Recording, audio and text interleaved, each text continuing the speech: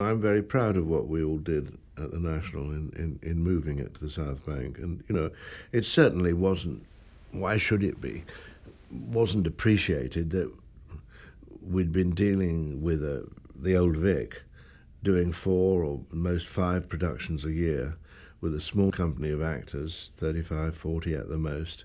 Uh, uh, and suddenly we were running three theatres doing 18 to 20 productions a year, and with a with a with a staff, uh, well, certainly over 100 actors and, and a staff of five or six hundred to boot.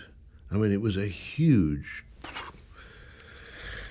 Nobody knew how much it was going to cost. Nobody knew. Uh, uh, I mean, uh, one of my favourite stories about the National Theatre is is um, an early board meeting when we just moved in, and it was, of course, about three and a half years late there are two kinds of time, as we all know. There's time and there's builder's time.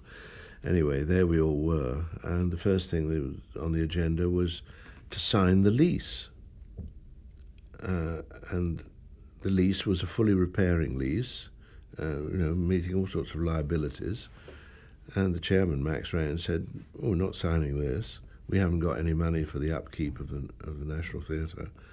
Um, who does it belong to? And there was a, a lot of head scratching. And they said, well, it, doesn't belong to the Greater London Council. They've given the site. It doesn't belong to the South Bank Board because they built it, but they have no funds. It doesn't belong to the Arts Council, and it doesn't belong to the, the Minister or the, or the Department of Culture.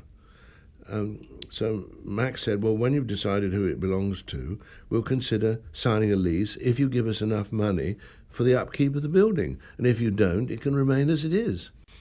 So for about the next year, nobody owned the National Theatre, but we were busily playing in it. One of the most um, dizzy effects of bureaucracy. That. Um, I mean, I think what what was very interesting about the whole opening of the National Theatre was the profession was against it because it was scared.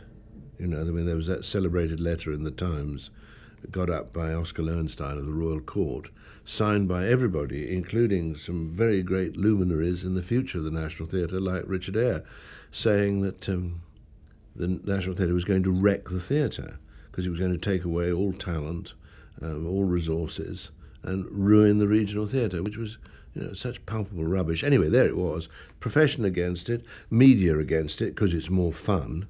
I mean, any, anything new has to be, you know. And extremely expensive. And extremely expensive, and art, and art. You know, Philistines stepped this way. Um, it was the government was against it um, because of finance. The Arts Council was against it because it thought that it would take resources that they would like to spend. When the Arts Council was saying to the regions, we can't give you extra money because we've got the National Theatre coming, and they were saying to us, we can't give you more money because we've got to look after the regions. You know, standard negotiating ploy. So nobody wanted the National Theatre at all, except the public. From day one, they came into that building and they said, "Ah, we like this place." And there's no question if that hadn't been so, and that's a tribute to Denys Lasdun and the architect, if that hadn't been so, we wouldn't have survived.